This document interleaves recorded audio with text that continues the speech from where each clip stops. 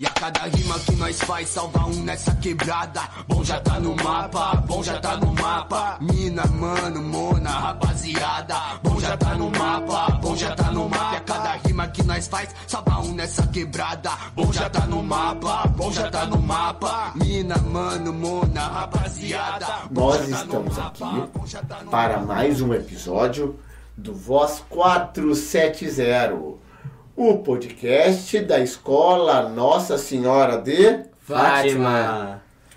O episódio de hoje nós vamos conversar sobre os lanceiros, Negros. os lanceiros negros. Para isso, hoje eu tenho aqui comigo o Marcos. e o Igor. Nós estamos no Spotify, no Google Podcast e no YouTube. Curta, recomenda e deixa o seu. Like. Beleza. E na mano, rapaziada. Olha, vamos lá. Povo que não tem virtude acaba por escravizar. Povo que não tem virtude acaba por escravizar. Povo que não tem virtude acaba por escravizar. Vim avisar, viemos cobrar. Ah, povo que não tem virtude Para começar, pessoal, é, eu queria começar perguntando sobre quem foram os lanceiros negros. Foram os escravizados que lutaram ao lado dos farroupilhas em troca de sua liberdade. Perfeito, Igor. É, os farroupilhas, né, prometeram a liberdade aos negros que, que eram escravizados, né? E aí tu usou uma palavra que era escravizados e não escravos, né? Sim, Sabe dizer por quê? Porque a palavra escravo é como se a pessoa tivesse escolha e ciência disso, como se ela quisesse ser escrava. E o escravizado, ele foi escravizado contra a sua vontade, né? E o que que foi o massacre de Porongos? Foi um negócio lá que eles tiraram as armas dos lanceiros negros para eles ficarem ah, fracos e daí poderem ma- massacrá-los. E quem massacrou foram os Soldados do Império. Do Império Brasileiro, né? Do Exército Brasileiro. Isso. Ô Marco, tu lembra quando que aconteceu e onde aconteceu esse massacre? Aconteceu em 14 de novembro de 1844. 1844. E justamente o nome é Massacre de Porongos, porque aconteceu no lugar chamado. Porongos. Tá. E assim, Marcos, o que, que- qual foi o contexto histórico do Massacre de Porongos? O que, que acontecia assim ali no Rio Grande do Sul? Como é que o que aconteceu no Rio Grande do Sul nessa época? Que a gente chama? Guerra dos Farrapos. É, Marcos, tu lembra mais ou menos o que, que foi assim, Guerra dos Farrapos, o que, eles queriam? Ah tá, foi os, os rio-grandenses que, que queriam separar o Rio Grande do Sul do Brasil.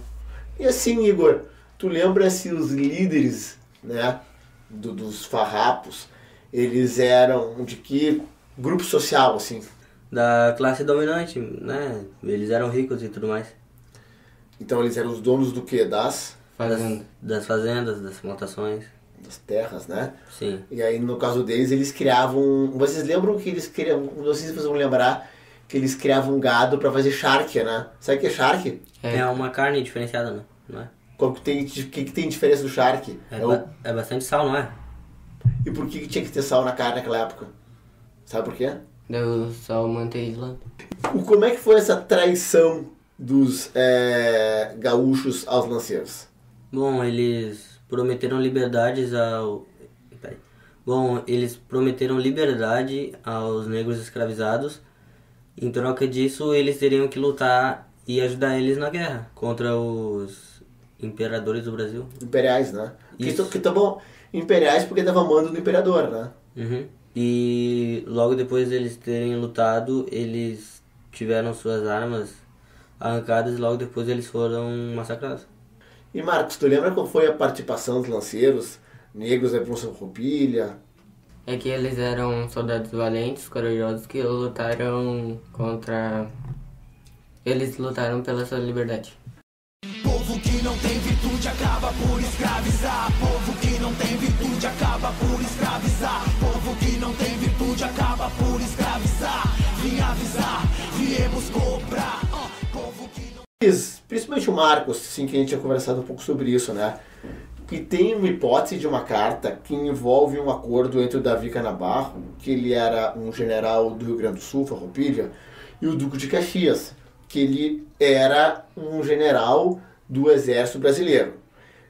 Tu lembra o que, que dizia assim nesse, nessa carta, nesse acordo dos dois? Lembra?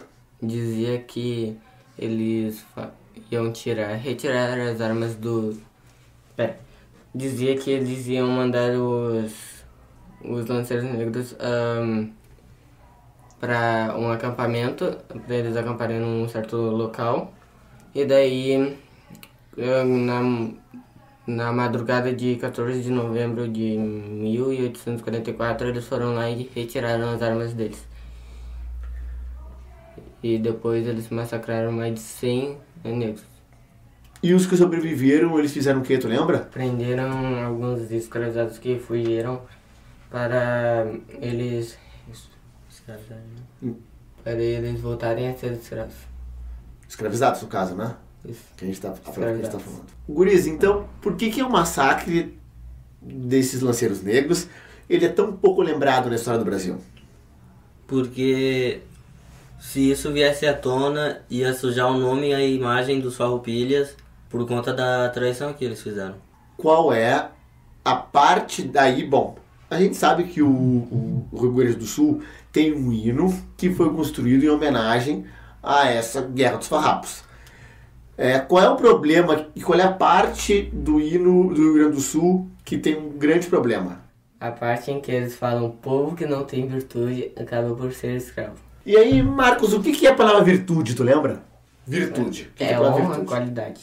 Exatamente isso. O que é o problema nessa frase? Povo que não tem virtude acaba por ser escravo. Porque diz que os escravizados eles não têm virtude, não têm qualidade, não têm dignidade e geralmente quem é e geralmente não, né? Sempre quem é escravizado são as pessoas negras, então estaria bem dizer falando que os negros não têm dignidade, uma virtude. E qual letra então a gente lendo, escutando assim, sabe que seria mais apropriada? Seria povo que não tem virtude acaba por escravizar. E o que, que significaria falar povo que não tem virtude acaba por escravizar? Significa que eles não têm qualidade, não têm dignidade, principalmente humanidade, e acabam por escravizar os negros. E aí, gente, eu queria saber de vocês dois, qual a importância que vocês acham da gente estudar e ler sobre história negra na escola? Seria para a gente um, saber o que aconteceu naquela época e saber um pouco mais da nossa ancestralidade. Para as crianças das escolas que estão estudando e aprendendo isso, percebendo o valor, a resistência e a força dos seus ancestrais negros e escravizados, porque eles lutaram contra a sua. Calma, calma. Porque eles lutaram para ter sua liberdade. E Guris, por que então é importante a gente estudar sobre a história dos lanceiros negros? Porque eles lutaram para ter sua liberdade e quando viram que era balela, eles acabaram fugindo, tentaram resistir a isso. E tu, Marcos, por que tu acha que é importante estudar a história dos lanceiros negros aqui no Rio Grande do Sul? Eu acho que a gente saberia um pouco mais sobre o que aconteceu na época do nosso estado e também pra gente conhecer um pouco mais da história do nosso, da nossa ancestralidade. Povo que não tem virtude acaba por escravizar. Povo que não tem virtude acaba por escravizar. Povo que não tem virtude acaba por escravizar. Vim avisar, viemos cobrar. Uh, povo que não tem virtude Gente, encerrando aqui, né, pra gente encerrando o episódio de hoje.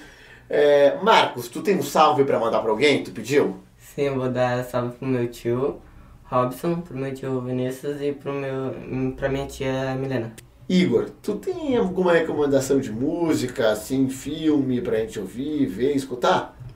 Sim, eu tenho a música pra recomendar, a Manifesto Porongos, que é do Rafuage, que é do Rafuage, e ele fala sobre essa história, né, sobre esse evento do do massacre dos Polongos. Então é uma ótima forma de tu aprender um pouco sobre a história e ter um conhecimento a mais.